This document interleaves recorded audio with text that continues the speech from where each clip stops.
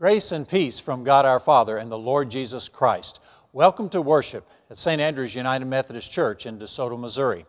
I'm jumping in a little bit early in the service because I want to thank the music ministry of Sunrise Church in O'Fallon, Missouri uh, for making some of their worship videos available to churches during this time of, of pandemic and transition and all of that. And I also want to give a quick word of clarification that the recording of this first song, uh, that it came into being uh, more than a year ago uh, before a lot of the widespread distancing happened. So if you were kind of wondering why there's so many people and why they're close together, well, it was done very, very early uh, in this entire season. Now, that being said, I, I want to say that I am very grateful uh, to be a part of United Methodist churches that seek to, to utilize all the resources we have, all the talents, the input that we have, so that we can join together in doing just exactly what this next song is going to say, that we can share the victory that we have in Jesus Christ. So, with that, I would just say, welcome to worship.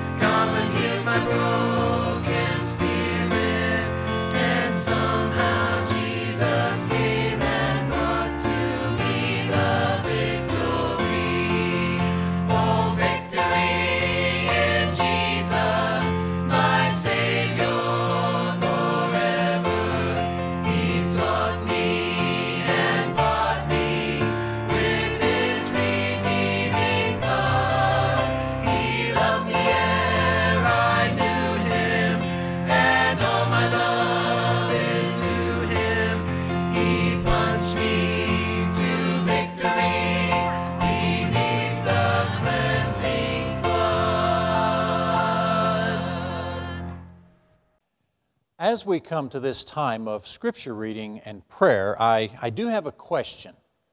How hard is it to believe a lie? That seems quite the question, you know, on the week after Easter, but uh, how hard is it to believe a lie? Well, it is actually quite easy. Uh, you know, research has shown that it is easier to believe a simple lie than it is to change our minds based on new information. Uh, and, and if this simple lie happens to align with our uh, existing, uh, I don't know, political, social, uh, cultural, religious uh, beliefs or points of view, uh, then that lie is very easy to, to believe. As a matter of fact, I, in many ways, I think that's probably where we get the phrase, don't confuse me with the facts. Again, why of all times after Easter that we talk about these things? Um, well, to set the record straight, which is one of those triggering phrases that begins to create all sorts of thoughts about what is and isn't the truth. Uh, but it wasn't the week after Easter when things like these lies began to, uh, to circulate. It was actually the day of resurrection, uh, a day of victory that also was when people began to spread their own version of the news. Now, what am I talking about? Well, it's this story that is told uh, only actually in the Gospel of Matthew, the particular intricacies of this story. It's Matthew uh, chapter 28, and it's the first 15 verses of that chapter. And this reading uh, will be from the New Living Translation of the Bible, beginning with uh, verse 1 of chapter 28 of Matthew. Early on Sunday morning, as the new day was dawning, Mary Magdalene and the other Mary went out to visit the tomb. Suddenly there was a great earthquake, for an angel of the Lord came down from heaven, rolled aside the stone, and sat on it. His face shone like lightning, and his clothing was as white as snow. The guard shook with fear uh, when they saw him, and they fell into a dead faint. Then the angel spoke to the woman. Don't be afraid, he said. I know you were looking for Jesus who was crucified. He isn't here. He is risen from the dead, just as he said would happen. Come, see where his body was lying. And now, go quickly and tell his disciples that he has risen from the dead, and he is going ahead of you to Galilee. You will see him there. Remember what I've told you. The women ran quickly from the tomb. They were very frightened, but also filled with great joy, and they rushed to give the disciples the angel's message. And as they went, Jesus met them and greeted them. And they ran to him, grasped at his feet, and worshiped him. Then Jesus said to them, Don't be afraid. Go tell my brothers to leave for Galilee, and they will see me there. As the women were on their way, some of the guards went into the city and told the leading priest what had happened. A meeting with the elders was called, and they decided to give the soldiers a large bribe. They told the soldiers, You must say, Jesus' disciples came during the night while we were sleeping, and they stole his body. If the governor hears about it, we'll stand up for you so you won't get in trouble. So the guards accepted the bribe and said what they were told to say. Their story spread widely among the Jews, and they still tell it today. Very controversial reading, but I think an important reading to hear on this day. Uh, would you join me in a prayer that Jesus taught us to pray? Let us pray. Our Father, who art in heaven, hallowed be thy name. Thy kingdom come, thy will be done on earth as it is in heaven. Give us this day our daily bread, and forgive us our trespasses, as we forgive those who trespass against us. And lead us not into temptation, but deliver us from evil. For thine is the kingdom, and the power, and the glory forever. Amen.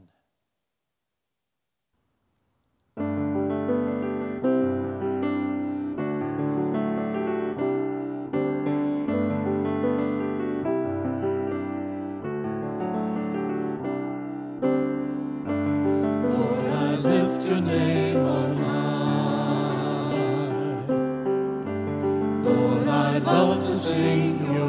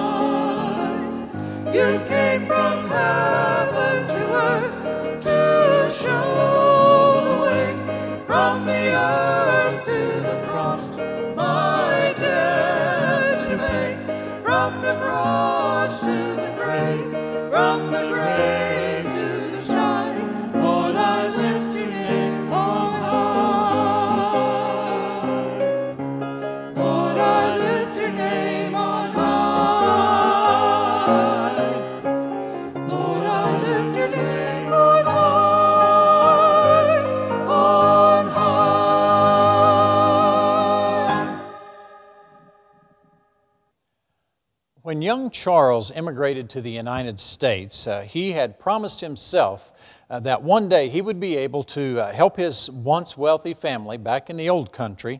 He would, he would be able to help them to restore their sense of dignity and pride um, and wealth. Matter of fact, uh, he had a plan. Uh, his early beginnings in the United States were sort of a mixture of wins and losses, a kind of odd jobs, sleeping on the floor, things like that. Uh, he decided perhaps he would just I don't know, the pastures would be greener or whatever it would be, he would be going on to Canada. And so he went, he moved to Canada.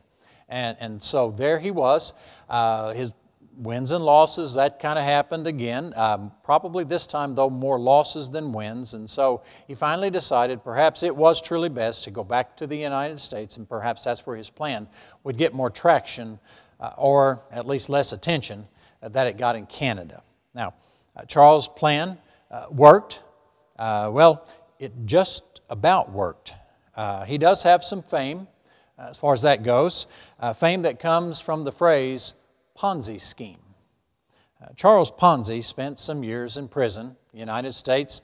Uh, he was deported uh, back to his home of Italy, where he lived in the poverty um, that he so wanted to escape.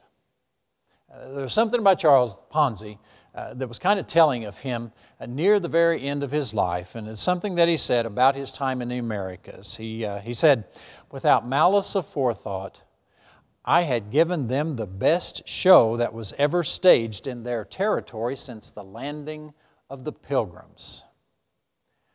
Man, I had given them the best show ever staged. I wonder, I wonder if a thought like that may have been a part of the thoughts that went through the minds of some. Those days uh, before and right after the crucifixion of Jesus. Was this uh, some show, some way to capitalize on, uh, on what? On the tensions between the government and a people who were being oppressed by the government? Was it uh, who could capitalize maybe, uh, you know, on the religious leaders who seemed to always be able to come out on top of things, even if it was at the expense of the poor? Uh, who would it be that would benefit from what probably was going to happen, you know, the uprising that the, that the Roman government saw that was happening? Who would benefit from that, or perhaps from the crucifixion that let them know we are still in charge? Who is to benefit from this show? Um, what was the greatest lie in history? Was it a Ponzi scheme? Was it a Chernobyl disaster, a Cuban Missile Crisis? Was it Watergate? A pandemic? A crucifixion? Was it a resurrection? The truth is, a lie is more easily, more easily believed if it happens to be a lie that will allow us to keep things going as it always has been. Um, we approach this season of Easter. I would like for us to consider our lives as Life 2.0, uh, as a reboot, as a manner of rethinking uh, what used to be a given. and let us consider how the resurrection speaks to many of those questions. For the next few weeks, let 2.0 be a reminder of what following the way of the resurrected Jesus can mean. A part of opening our minds to what the resurrection can mean to us as individuals is to face, I guess you could say, is to face what could easily be called a lie. Now, some would say, well, you know, a lie is kind of a harsh word. Why can't we just use something else? Something, I don't know, a little less painful. Uh, and, I, and I would agree uh, in, in pretty large part. It's just that it's just that as uh, I've lived these uh, few years of my life, I observe people living with uh, untruths or living with, you know, sort of truths or living with, oh, it's just a little bit of a discrepancy in the fact. I, have seen people live with those things. And if they would have just been simply recognized as the lie that they were, uh, maybe things, maybe life would have been more manageable. Maybe uh, some things could have been avoided in life. And so, in this reboot, we recognize that we all come from different stations in life. Our stories are diverse, our stories are all very important to whom we have become. But maybe, just maybe, there's a part of our lives we would like to re-story, uh, to recreate in ways that give life, that give even more life. And what better way to do that uh, than to take a look at fallacies, at things that we want to call something other than what they are, uh, which is a lie. In this story of the resurrection, as found in the Gospel of Matthew, uh, one part stands out to me, and it's verse 15. It says, So the guards accepted the bribe and, and said what they were told to say. Their story spread widely among the Jews, and they still tell it today a bribe, an untruth, and the need to keep it going. A number of historians have said that Matthew's story of Jesus' life time on earth was written some uh, 30 to 40 years after Jesus' time on earth. Now, if that is the case, then it says a lot. It says a lot about just how long some people will go on and on about something, even when they know it is not true. Uh, what is it that, that's said about a lie that, uh, uh, that you have to remember it over and over and over again, but you only have to remember the truth once? Uh, there's even more to this that Scripture tells us. And it kind of tells us what the guards said or not the guards, but what the leaders said to the guards when they were giving him the bribe. They said, If the governor hears about it, we'll stand up for you so you won't get in trouble. Did you hear that? This was not just about a bribe, this was about blackmail. How often have the half truths that we hold on to, how often do they sometimes determine our lives? Uh, I believe it was St. Augustine who said that when regard for truth has been broken down or even slightly weakened, all things remain doubtful. Um, I think it'd be a fair question to ask ourselves, you know, exactly these guards, coming back to that story, what choice did they have? I mean, they really didn't. Uh, you know, the whole thing about getting in trouble probably would have meant their death. Um, what where could they go? Where could they go? Well, they could have gone to God. They could have allowed God to recreate in their lives. And some would say, well, I, I don't know that that could work. Well, hang on with me just a moment. Were we to consider the ancient world in that time, I am not so sure that a story about someone being resurrected from the dead would have been that hard to believe. In fact, having a resurrected prophet would have been the very thing that people would have wanted to believe.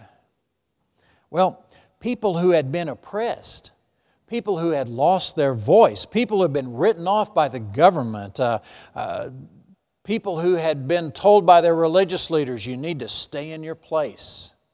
People would have wanted to believe that and would have responded to that. in a very real way. Um, I just think the guards didn't think about it. The, the truth of the matter is, paying off the guards and building kind of this good little measure of blackmail involvement, that was really a fairly small price for the leaders to pay. Um, it's just that if that's the way they wanted to be remembered, by the untruths, by the half truths, by the discrepancies, um, and it's something we need to look at in our lives. How do we want to be remembered? There's a particular part of our nation's history, and the, the scandal history, I guess you'd say, that, that seems to be the scandal by which all other scandals are measured, and, and that scandal is Watergate. Now, I say measured uh, because uh, of the fact that any high profile scandal or hint of a scandal uh, it seemed that, you know, that hits the news feeds, it seems to have a play on the word Watergate. Uh, you know, Watergate, Bridgegate, uh, Iran Gate, Climate Gate, Deflate Gate. Uh, yeah, sports have their own gates as well. Uh, and of course, perhaps one of the more recent ones, Pandemic Gate. I suppose every lie has its gate. Uh, every story, every scandal has its gate. But it causes me to wonder what gates might be opened were we to allow God to restory, to recreate our lives. Few people knew of the intricacies of the Watergate scandal better than Charles. I'm not talking about Charles Ponzi, I'm talking about Charles Colson. Chuck Colson went to prison for his role uh, in Watergate. Chuck Colson was thought by some to, to, to simply be yet another person to find jailhouse religion. Chuck Colson was an important part of, of setting up uh, nationwide, worldwide jailhouse ministries. And he was just thought, well, he's just one more jailhouse religion person. But that is not his story. As a matter of fact, I would want you to listen to a story of one writer and how he talks about his time with Chuck Colson. When I first heard Chuck Colson tell the story of his newfound faith, I was among the skeptics. But I soon realized that Chuck's story was not that of a man trying to claw his way back into respectability and success. It was instead a story that saw him returning to the places of his own brokenness and humiliation. I had been a Christian involved in Christian work for a few years by that time, but it wasn't until I went into the prison with Chuck that I really began to know who Jesus is. I met Jesus as if for the first time. This writer went on to say, My eyes and mind and heart were opened as I began to understand the significance of Chuck's story and message, which was all about God's love embracing a world, a broken world, in the person of Jesus Christ. Perhaps the most important reboot, the most vital shift in the stories is found in this story from Matthew. It's the story of the first messengers. I'm not talking about the angel who rolled the stone. I'm certainly not talking about the guards who, who took the bribe and, and, and kind of had to deal with the blackmail for the rest of their lives, I suppose. I'm talking about the women, the first messengers of the resurrection of Jesus Christ. Whatever the circumstances were, whomever it was who said, or implied, or hinted that you are not qualified to tell people of the good news of Jesus being alive and alive in you, whatever the circumstances. Uh, it's just not the truth. You know, other gospel accounts of the resurrection of Jesus, they have the disciples questioning the truthfulness of the women. Uh, granted, the resurrection was kind of an enormously big story. But I wonder if the, the resurrection, the, the questioning about the resurrection didn't have to do with the fact that the first bearers of the news uh, were people not looked upon as having the culture and the religious qualifications to be given, giving out the official word. How might that apply to our own lives? Who, uh, who better than to help the grieving than one who has experienced grief? Who better to help the recovering divorcee than the, than the one who made it through the times of separation and dissolution and recovery? Uh, who knows the pangs of hunger better than the one who has experienced those very same aches? Who better to tell a friend about how Jesus can live in them than the friend who has experienced new life in Jesus Christ. We don't lose friends by, by telling what following Jesus means to us. And in many ways, we might learn that our friend said, might say, Well, why did you take so long? I thought you were my friend. Which brings me to a very important point today. Uh, there's another part of this story from Matthew that I would like, uh, would like for us all to look at. It's the place right at the end of verse 6 and right at the beginning of verse 7. Okay? Let me read that part for you, and I'm going to begin with verse 6. He isn't here. He has risen from the dead just as he said would happen. Come, see where his body is lying. And now go quickly and tell his disciples that he has risen from the dead and he is going ahead of you to Galilee. You will see him there. Remember what I have told you. Did you see it? Did you hear it? It's the space between the end of verse 6 and the beginning of verse 7. How long was it between the time they saw where the body had been and the angel telling them to go quickly and tell his disciples? Was it five minutes? Was it, was it 15 minutes? Was it one hour? Uh, my guess is that it was pretty quickly, but, but that sort of misses the point. We don't know, which is the point. How long was that time? How long will it be before we decide it is time to go and to tell the news and to shake off the fear, the insecurities, to dismiss the lies or the half truths or the misunderstandings? How long will it take for us uh, to say, I will tell you, I will, I will tell someone what following Jesus means to me. I will tell someone, regardless of the fact that, I don't know, that I've lost my job. Or I can tell someone uh, when my marriage failed, what it meant to follow Jesus Christ. When I, when I got that diagnosis, when our, when our new baby came, I can tell them what I felt about, when, about following Jesus when all of those things happened. When I got caught in city traffic, when I was praying the other day, when I was, when I was reading the Bible last night. How long will it take for us to tell someone about, about what following Jesus means in all of those experiences, good or bad, in all of those experiences of life? How long will it take when we say, I need to get rid of the lies, that it's not my place, that I'm not educated enough, or that I'm not this, or I'm too much of that? How long will it take? Now, how does the scripture say those women left? Some translations say with fear and great joy. Today's translation says they were frightened, but also fear, filled with great joy. You know, it's okay to be afraid. In fact, uh, what might scare me more if I hear someone say, I'm not the slightest bit afraid. I, now that kind of scares me a little bit, okay? You know, it, it's okay to be afraid. Why? Because this is an important story. And allowing God to recreate, to restory in us is a big deal. Because it's a story that gives life. And so, we should hear that angel and consider what we might have to, to move to the side so that we don't have to be afraid and that we can go and tell the story. To remove the lies, to remove the half truths,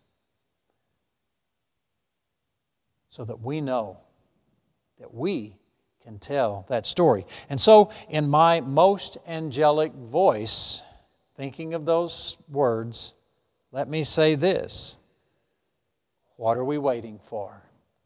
Let's get out there and tell the story. Let us pray. God of all that is life to its fullest measure. May we overcome the fear, uh, the voices from our past that want to put us down, the mistakes we've made, the lies that we have too easily believed. May we overcome them through the power of the risen Christ in our lives. This we pray in Jesus' name. Amen. Thank you for being a part of this service at St. Andrews. And, and, and as we, wait, I'm hearing something. Oh, yes, it's an angel telling all of us, What are you waiting for? Get out there and tell the story that faith, hope, and love abide these three, but the greatest of these is love. Amen. Worthy.